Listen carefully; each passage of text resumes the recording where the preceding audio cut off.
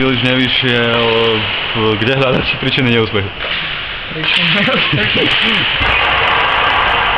Neviem, sú príčiny neúspechu. Dneska za tento týždeň sme mali bohužiaľ len 3 lady. Strašne veľa chyb v obrane. Mhm. V prvej tretine ste sa ešte ako tak držali, ale potom v druhej tretine ste úplne odpadli. A je to psychikou hráčov. Není toto prvý zápas, čo sme tak prehrali. Tak. Mhm. Čo bude teraz lepšiť pred zajtrajším zápasom v Žiline? Hlavne si dá hlavy do poriadku.